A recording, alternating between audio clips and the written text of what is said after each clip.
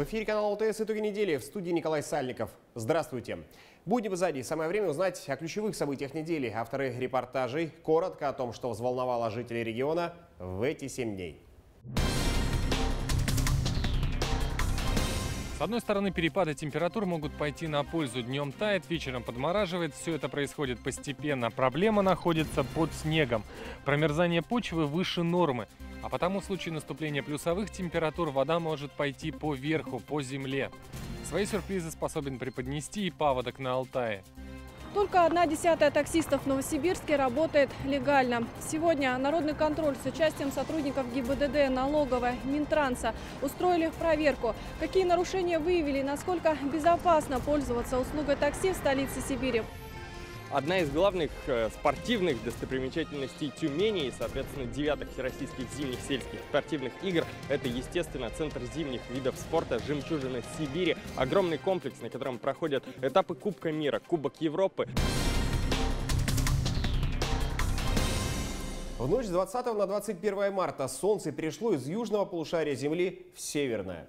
День стал длиннее ночи. Началась астрономическая весна. Вообще весеннее равноденствие – настоящий праздник во многих культурах, который символизирует начало новой жизни. Новосибирские аграрии на минувшей неделе начали подготовку к посевной. В предстоящем сезоне полевых работ увеличит площадь пашни. Из областной казны готовы оказать дополнительную финансовую поддержку для выращивания ряда сельхозкультур. Для стимулирования производства масличных культур из средств областного бюджета предоставляется сельхозтоваропроизводителям дополнительная поддержка. Объем выделенных средств по данному направлению составляет 50 миллионов рублей. Э, вот это направление прогнозируется сохранить и на последующие годы.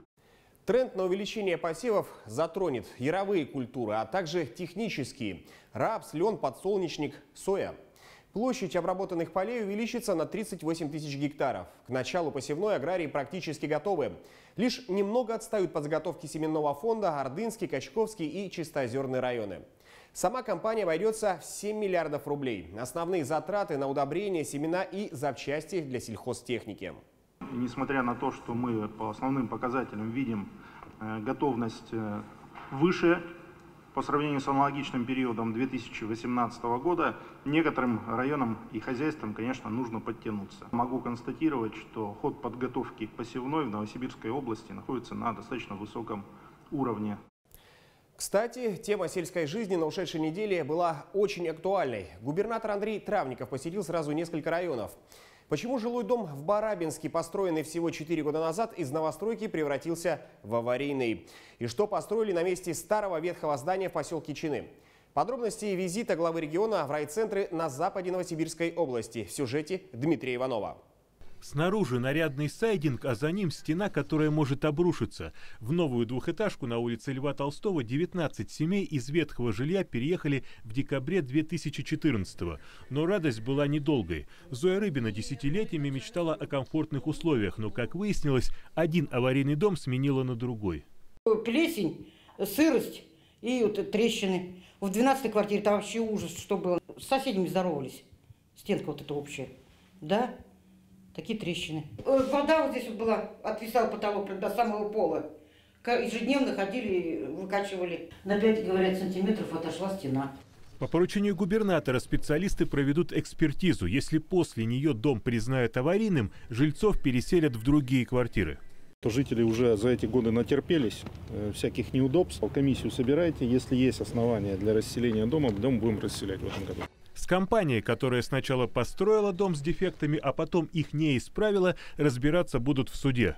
В Чановском районе губернатору продемонстрировали другой пример. В поселке Маховое в 400 километрах от Новосибирска снесли аварийный дом, построенный полвека назад. Помимо квартир в нем был и фельдшерско-акушерский пункт. Теперь на месте старого дома новый ФАП, в котором есть и квартира для фельдшера. Здесь будет детская. Здесь? Э, здесь зал, ну а там? Ну, а там кухня, ну и ванна. То есть двухкомнатная квартира? Да. Олеся раньше работала в районной больнице, до которой из своей деревни добиралась 50 километров. Теперь до рабочего места несколько шагов. ФАП – это своего рода мини-поликлиника, где работает один врач. У фельдшера здесь есть кабинет и регистратура. Это кабинет приема пациента, где им измеряют давление и ставят диагноз. А здесь процедурный кабинет, где уколы и перевязки. В Маховое, поселок рядом с федеральной трассой, озером и санаторием, сейчас переезжают семьями. Только за последний год появились две новых улицы, поэтому и ФАП здесь как нельзя кстати. В вашей деревне, наверное, э, действительно это своевременно, потому что деревня растет. Слава богу, детишек э, прибавляется. Дай бог на здоровье всем это, чтобы, как я вот э, фельдшеру подсказал, э, работы побольше, но работы на профилактику, чтобы лечить поменьше, а больше профилактики. Ну, будем стараться, конечно, все так. Сельский фельдшер часто один на несколько деревень. В любое время принимает пациентов, в любую погоду выезжает на вызовы, лечит простуду, травмы, принимает роды. В Новосибирской области сейчас работают около тысячи ФАПов и планируется строить примерно по 30 фельдшерских пунктов в год. Дмитрий Иванов, Оксана Тимошенко, Дмитрий Злобин. Итоги недели. Новосибирская область в списке регионов со сложной паводковой обстановкой. На минувшей неделе глава Росводресурсов Дмитрий Кириллов заявил, в ряде регионов, включая наш, есть вероятность образования опасных заторов льда при вскрытии рек и подъеме уровня воды. В зоне риска Карелия, Башкирия, Якутия, Архангельская, Вологодская, Ленинградская, Волгоградская, Саратовская и Тюменская области, а также юг Камчатского края. Например, на территории Алтая и в Новосибирской области от предстоящего паводка могут пострадать около 300 населенных пунктов. В зоне подтопления около 600 участков автодорог и более сотни социально значимых объектов. Новосибирские дорожники уже вовсю готовятся к большой воде. Чистят обочины, водопропускные трубы. Подробности далее. С одной стороны, перепады температур идут на пользу. Днем тает, ночью подмораживает. Это происходит постепенно. Проблема под снегом – Промерзание почвы выше нормы, а потому в случае наступления плюсовых температур вода может пойти поверху, по земле. Свои сюрпризы способен преподнести и паводок на Алтае. Из-за ранней весны ход воды можно ожидать в первой декаде апреля. Проблемными реками в нашей области считают Карасук, Иню, Тартас. Уровень притоков Аби способен подняться почти до 3 метров. Осадки будут э, больше нормы на юге, юго, юго-востоке. Это Алтайский край, Республика Алтай и Кемеровская область.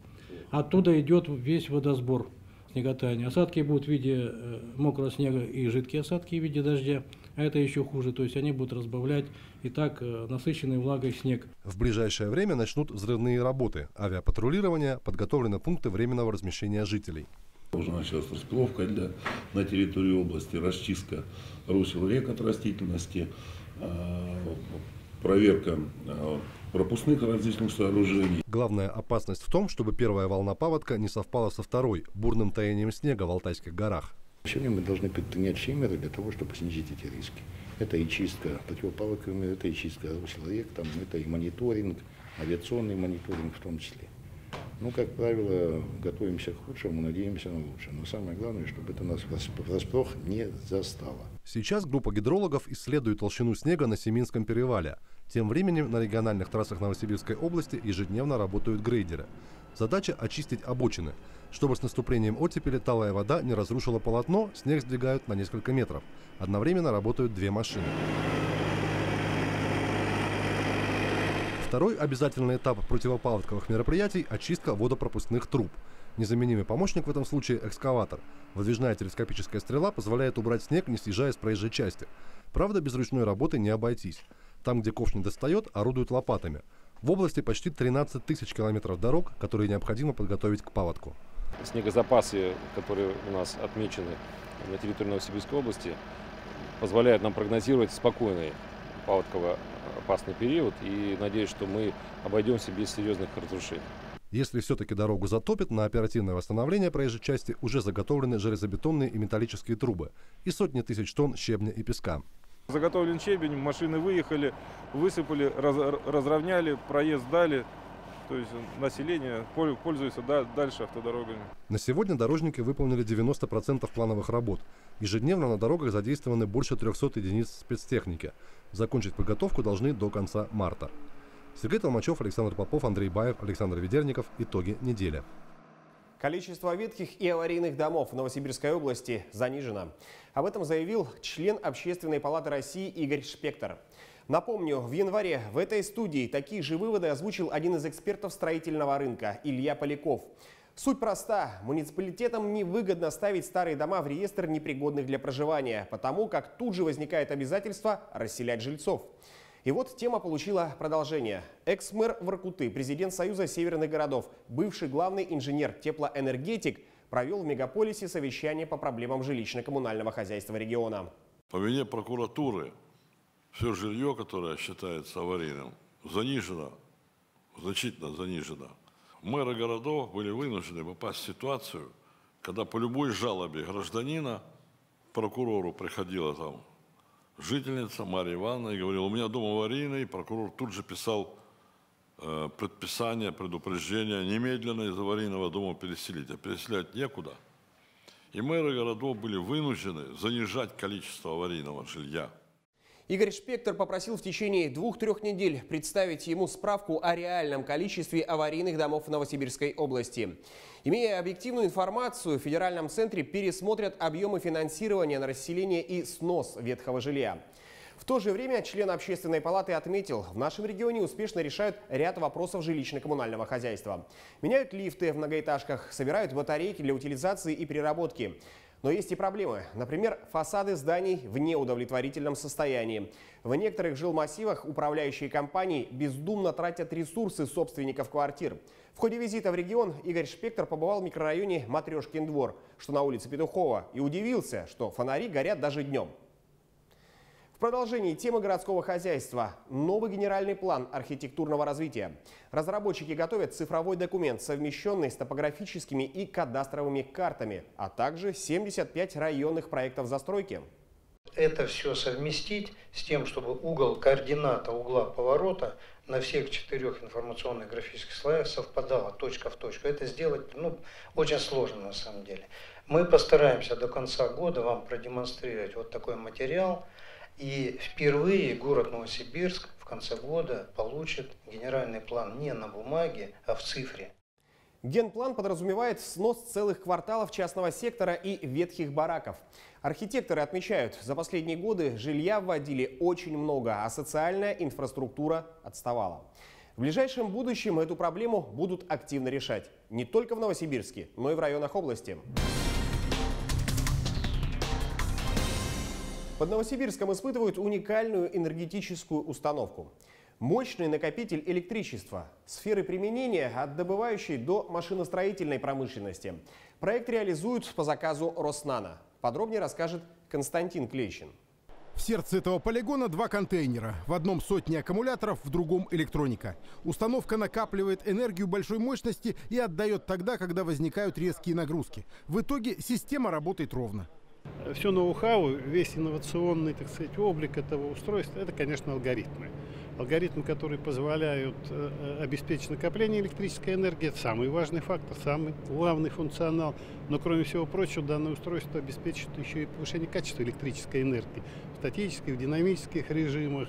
Накопитель может быть полезен в добывающей отрасли, на промыслах, где электричество вырабатывают самостоятельно, газовыми или дизельными силовыми установками. Они зачастую не выдерживают нагрузки и выключаются, когда идет запуск мощных буровых станков. Нагрузки нивелирует новосибирская техника. Она автоматически добавляет в замкнутую систему накопленную электроэнергию и опять ее копит. Если разобрать эксперимент, то можно найти долю комичности. А, суть в том, чтобы отапливать улицу за моей спиной, стоят мощные калориферы. Эти обогреватели имитируют возникающие нагрузки, а накопитель подставляет плечо этой замкнутой автономной системе. Экспериментальная площадка работает уже почти месяц те газопоршневые установки, вот, которые у меня за спиной, они практически аналогичны тем, с которыми наша установка будет штатно работать на месторождении. Вот, и поэтому э, те эксперименты, те опыты, те э, испытания, которые мы сейчас проводим, они ну, э, по-настоящему для нас бесценны. Накопитель большой мощности – проект по заказу Роснана. Научное обеспечение делает Государственный технический университет. И сибиряки гордятся тем, что это все плод трудов именно молодых специалистов. Сейчас идет подготовка к серийному выпуску продукции. По мнению экономистов, через пять лет в стране будет бум на такие энергоустановки, особенно в сфере добычи ресурсов. Речь о сотнях накопителей в год. Константин Клещин, Алексей Баженов. Итоги недели. И в продолжении темы внедрения научных разработок в массовое производство. Исследования на молекулярном уровне как залог выявления и лечения таких тяжелых недугов, как рак, болезни Альцгеймера и Паркинсона.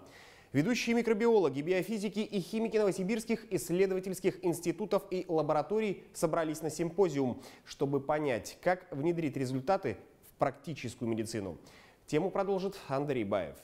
В зале узкий круг специалистов. Тема симпозиума, организованного в технопарке Новосибирского академгородка по инициативе АФК-система «Генные и клеточные технологии в моделировании и терапии заболеваний человека». Сегодня, говорят ученые, молекулярные исследования в авангарде гонки медицинских технологий. И крупные частные инвесторы приходят на этот растущий рынок. Я считаю вызов для России. И надо создавать свои программы э, для реализации тех задач, которые есть. Нужна адресная государственная программа с адресным финансированием тех лабораторий, тех учреждений, тех институтов, которые занимаются данной проблемой. В лаборатории экспериментальной хирургии клиники Мишалкина уже проводят доклинические испытания биологического заменителя кардиостимулятора. За ритм сердца отвечают определенные клетки – пейсмейкеры. Их-то и научились воспроизводить в Институте цитологии и генетики. Теперь ученые вместе с медиками должны доказать безопасность метода. Мы провели несколько пилотных э, экспериментов на животных, когда подсаживали эти клетки уже в работающее сердце. Мы посмотрели, что эти клетки работают, да, что они генерируют тот потенциал действия, на который мы надеемся, но сейчас мы работаем именно над масштабированием этой технологии. Потому что одно дело, если мы делаем эксперимент на маленькой мышке весом 40 грамм, а другое дело, если мы должны в финале э, сделать э, кардиостимулятор, биологический кардиостимулятор, который должен работать у человека весом, там, например, как я, да, около 100 килограмм. А в другой новосибирской лаборатории специалисты ищут причины возникновения тяжелых заболеваний человека и определяют, как именно воздействует тот или иной препарат. Попытаться найти на молекулярном уровне, что же поломалось либо в белках, либо там, в метаболитах, и по всему миру идет огромный рост экспоненциальный просто вот исследований в этом направлении. То есть люди стали понимать, что вот где-то здесь можно найти какие-то основы, молекулярные основы заболеваний многих. Чтобы эти и другие прорывные технологии генно-молекулярной инженерии внедрить в медицину, говорят ученые, необходимы серьезные финансовые вливания. В некоторых западных странах лаборатории подобного профиля имеют бюджеты в сотни миллионов долларов. АФК-система – это инвестиционная компания, которая старается инвестировать в инновационные и а, технологичные проекты. А мы, как э, инвестиционная компания, будем стараться совместить а, научную составляющую и бизнес-составляющую для достижения максимального результата. Ученые и инвесторы хотят выйти на абсолютно новый уровень диагностики и лечения болезней человека, чтобы лекарства не только снимали симптомы, а восстанавливали организм. Андрей Баев, Дмитрий Злобин. Итоги недели. Вы смотрите итоги недели на канале ОТС. Далее в программе. Лишь один из десяти новосибирских таксистов работает легально. Кому пассажиры доверяют своей жизни и здоровье? Многодетной семье в Искитимском районе в порядке очереди выделили малопригодный для проживания дом. Часть жилплощади приходится на грязный антисанитарный подвал. В Тюмени прошли всероссийские сельские игры. Как выступили наши?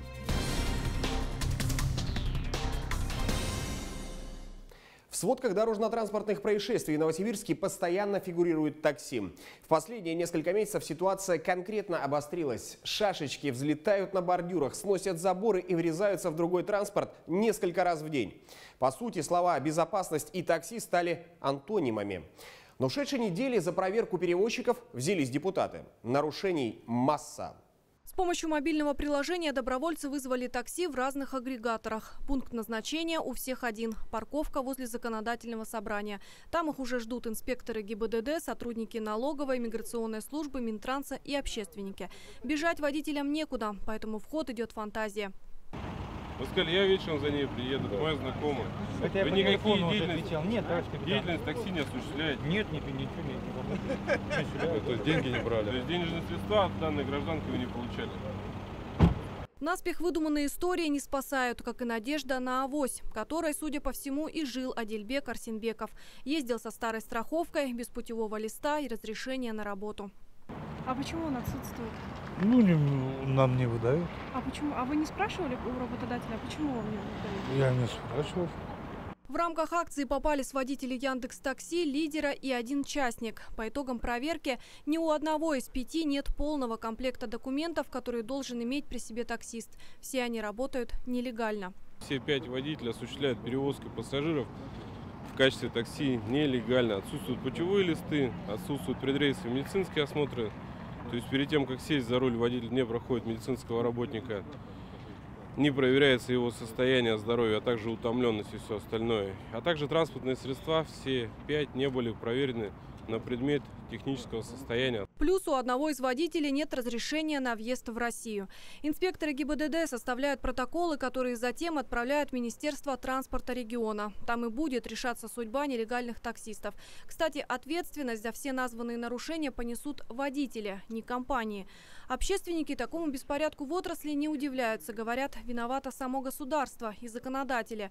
На бизнесменов оказывают большое давление. Вот они и вынуждены юлить. То же самое 54-й федеральный закон, который у нас сейчас с 1 июля начнет действовать, это применение онлайн-касс в такси, они вынуждают все больше и больше легальных перевозчиков уходить в тень, потому что они несут большие расходы по установке какого-то оборудования, а нелегальные водители такси как э, занимались деятельностью, так и продолжают заниматься деятельностью. По последним данным, в Новосибирске с разрешением работает чуть больше двух тысяч таксистов. Нелегалов в 10 раз больше. А пассажиров, которые проверяют документы у водителя, прежде чем отправиться с ним в поездку, наверняка единицы. Елена Мирошниченко, Александр Егоров. Итоги недели. А сейчас отдельно взятый, но совершенно показательный случай, как многодетной семье в Искитимском районе предоставили жилье в рамках госпрограммы. Сразу скажу, государство как субъект отношений здесь не стоит считать обвиняемым. Деньги из бюджета выделили в срок и в полном объеме. Но вот организовали покупку жилья для нуждающихся крайне халатно, скажу даже больше, позорно. Подробности вы узнаете из сюжета, но суть обозначу сразу. Многодетной семье за 3 с лишним миллиона рублей приобрели старую халупу, которая в реальности не стоит этих денег.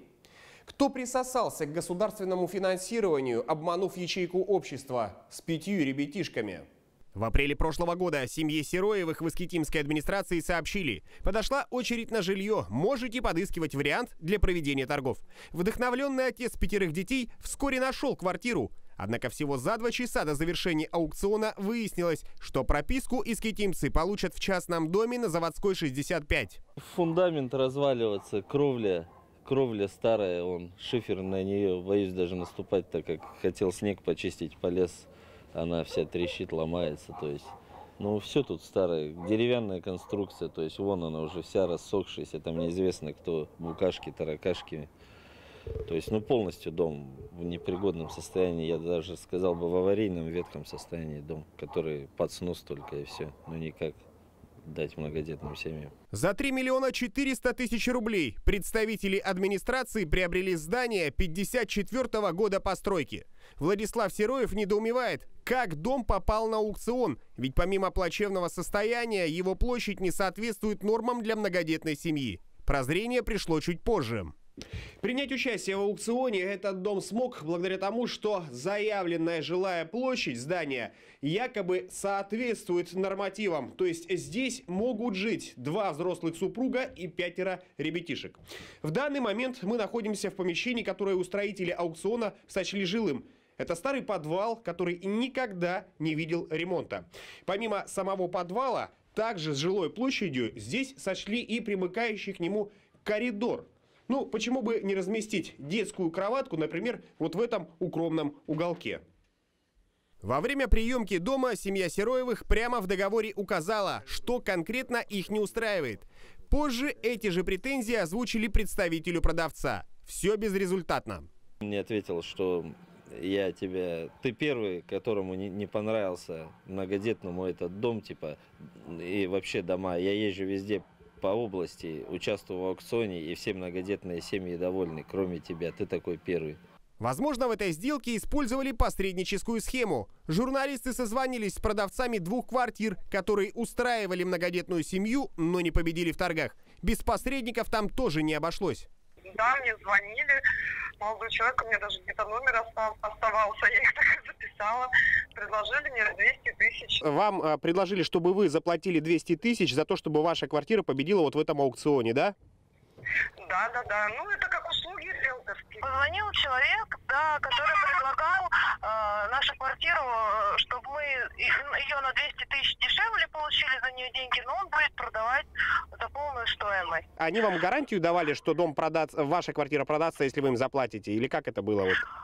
А, они говорили о том, что ни, никто больше на аукционе не будет выставляться, кроме нашей квартиры, мы будем победителями. Владельцы квартир ради гарантированной победы на аукционе платить по 200 тысяч отказались. В итоге в последний момент победу на торгах одержал продавец старого дома.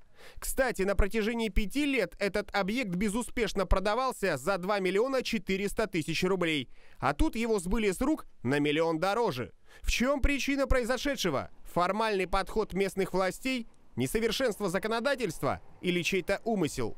Семья Сероевых готовит обращение в прокуратуру. А теперь продолжение истории. В день визита нашей съемочной группы к многодетной семье из администрации Скитимского района к Сероевым приехала комиссия, чтобы оценить состояние дома. Проверяющие сухо и безучастно осмотрели дом и пришли к выводу – жить можно. Семья просто вредничает. Уже после нашего отъезда глава семейства Владислав Сероев позвонил в редакцию ОТС и сообщил, что заместитель главы администрации Искитимского района Светлана Зубарева, которая была в составе комиссии, сейчас ее фото на экране, рекомендовала семье готовиться к выселению так как они отказываются принимать дом, а старшая их дочь несколько месяцев назад стала совершеннолетней, и обратно в очередь на жилье по программе их уже не поставят. Вот такой лихой расклад. Впрочем, есть в этой истории еще один крайне важный нюанс, на который стоит обратить внимание. Напомню, со слов главы семейства, представитель продавца старого дома в личной беседе заявил, что участвует в торгах по приобретению жилья для многодетных семей по всей области. Так какова его реальная роль, если только на этом злополучном доме необоснованно завысили цену на миллион? Мы очень надеемся, что этим вопросом озадачатся и в правоохранительных органах. И еще один неприятный инцидент недели. В ночь со среды на четверг стало известно о пропаже ребенка в левобережье Новосибирска. На фоне официальных заявлений полиции о розыске сразу нескольких педофилов сотни новосибирцев просто ринулись искать ребенка вместе с поисковым отрядом. Мальчик нашелся. Он просто решил разыграть близких и остался ночевать у друга. Однако то, что это розыгрыш, бабушка школьника так и не узнала. В разгар поисков у женщины не выдержало сердце. Берегите близких. В регионе стартовал шестой Транссибирский арт-фестиваль. Артисты из Китая, Малайзии, Франции, Бразилии, Швеции, Черногории и других стран. Организатор фестиваля – легендарный скрипач Вадим Репин. В рамках события впервые в Новосибирске выступит Харбинский симфонический оркестр. В расписании фестиваля и несколько громких премьер.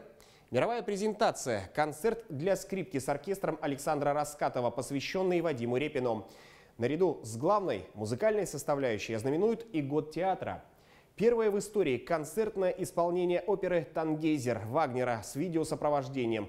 Мультимедийный проект «Черт, солдат и скрипка» с участием Андрея Макаревича и Владимира Познера – на сцене «Красного факела» покажут спектакли знаменитого Миланского театра марионеток. Концерты пройдут и за чертой Новосибирска – Искитим, Кольцово, Маслянина и Краснообск. В Тюмени состоялись девятые всероссийские зимние сельские спортивные игры. Соревнования прошли на спортивных аренах международного уровня. Там, где проходили чемпионаты мира и Европы, где состязались самые именитые спортсмены – Участники спорили в девяти видах – гиревой спорт, лыжные гонки, городошный спорт, троеборье механизаторов, троеборье дуэров, полиатлон, соревнования спортивных семей, шахматы и шашки. О выступлении новосибирской команды наш спортивный корреспондент Александр Шарудила.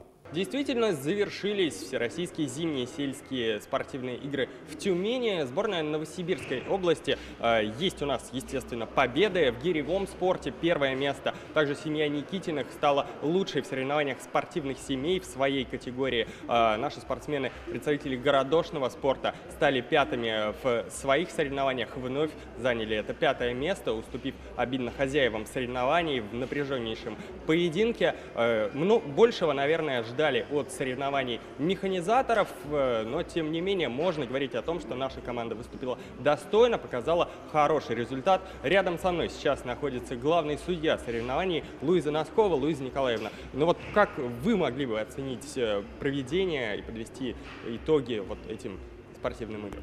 Но вы знаете, действительно, наша Тюменская область проводит большое количество различного уровня соревнований, международного в том числе. Но всероссийские игры, зимние всероссийские игры мы проводим впервые.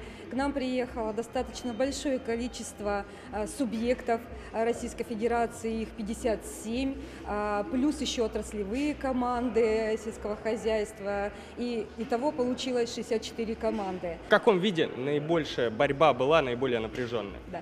Мы проводили эти соревнования по девяти видам спорта, и, наверное, самые интересные виды спорта – это э, троеборье механизаторов и троеборье э, доеров. Это, наверное, самые э, исконные, будем так говорить, русские сельские виды спорта, и на них, конечно, собираются э, большое количество зрителей, поддержать свои команды, и действительно очень интересно понаблюдать за тем, как у нас профессионалы борются вот в этих вот э, видах программы.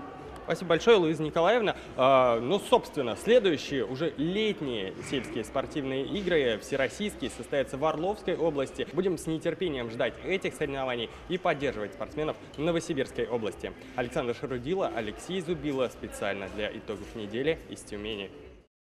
Из Новосибирска теперь можно вылететь в Бухару. Аэропорт Толмачева вместе с авиакомпанией S7 открыл прямой регулярный рейс в один из древнейших городов Узбекистана, через который пролегал Великий Шелковый путь. Бухара не только город-музей, центральная часть которого входит в список всемирного наследия ЮНЕСКо. В архитектуре сохранился колорит эпохи Средневековья. Но при этом город становится и современным деловым центром. Это четвертое направление в Узбекистане. А, Бухара является популярным туристическим направлением, а, занимает второе место после Самарканда. А, мы надеемся, что рейс будет востребован пассажирами. Рейс будет выполняться один раз в неделю по средам. Рейсы в Бухару будут выполняться на современных лайнерах Airbus A320 Neo. При этом для пассажиров станут доступнее удобные двусторонние стыковки в Новосибирске. Аэропорт Толмачева – крупнейший за Уралом транспортный узел, который предлагает более 2000 комбинаций стыковочных маршрутов. В прошлом году здесь обслужили 5 миллионов 900 тысяч пассажиров. Более подробную информацию о рейсах и авиабилетах можно получить на сайте аэропорта и в сети фирменных авиакасс.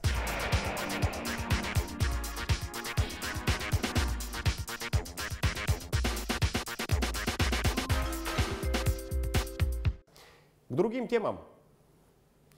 Сказочный мир на большом экране, где предметы сами двигаются, люди летают, а коты шутят остроумнее любого человека. 11 апреля на российские экраны выходит фильм «Домовой». Он вернет жанр фэнтези-комедии и объединит в кинозалах целые семьи. Лента рассчитана на зрителей старше 6 лет. Вначале ничего не предвещает беды. Мама с дочкой заселяются в квартиру в знаменитой московской высотке. Потрясающий вид из окна, много комнат. Но новые жильцы даже не подозревают, какие их здесь ждут испытания. Потом началось. Шкафы прыгают, книги летают. Полтергейст домовой живет в этом доме. И вот начинается война. Домовой, который живет в этой квартире, давно обиделся народ человеческий и готов любой ценой выжить новых хозяев. Что это? А ты еще не понял? Это наш мир. Хана выжить. Роль хранителя очага исполняет Сергей Черков. Чтобы изобразить проделки домового, ему пришлось болтаться на тросах, съемочной группе создавать вихрь из листов бумаги и купать в ванной актрису Юлию Сулис.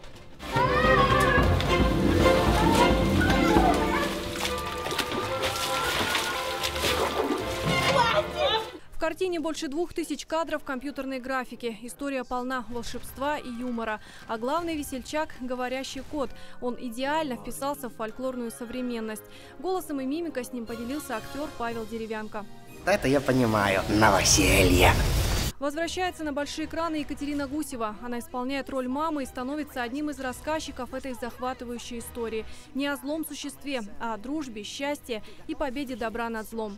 История, скорее всего, о человечности, о том, что иногда домовой оказывается человечнее, чем люди. И он больше переживает об отношениях, чем мы сами. Фильм выходит в прокат 11 апреля. Когда-нибудь видели домового? Приходите, посмотрите.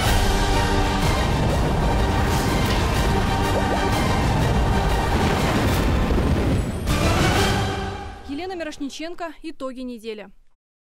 Так прожил эти будни регион 54, а мы встречаемся на канале ОТС в следующие выходные.